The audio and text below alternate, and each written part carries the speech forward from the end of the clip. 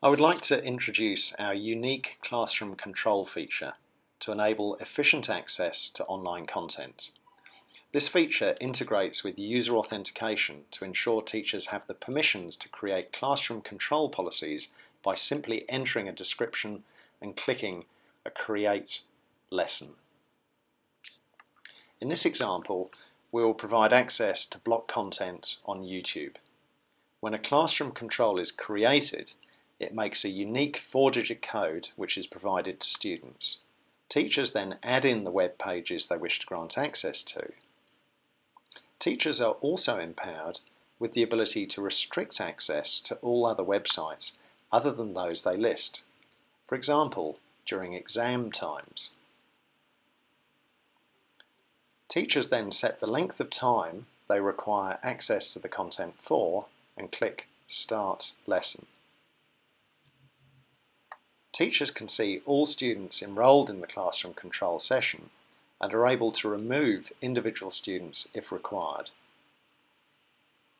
Classroom controls are also stored to make it really easy to reuse for teachers, with teachers also only being able to see their own classroom controls, making it a very simple administration process.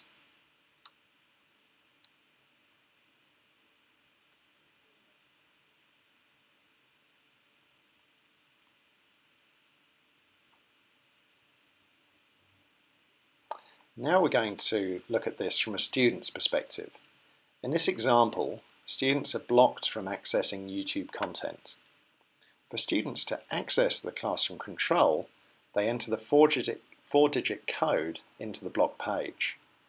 The allowed links are now available to the students.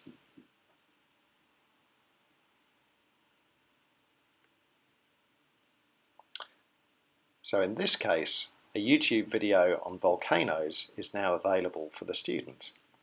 And we'll show this now being opened up. And we also can see when it expires, making it very useful for the students to be able to manage their lesson time. So here we see the YouTube video opening as it should. If the student happened to think that they could access other YouTube content, we'll show that we are denying access to any other content. And when we do this, the students will see a customizable notification which will give them further details. We provide full training and full documentation for teachers. For more information, please contact us at Cyberhound.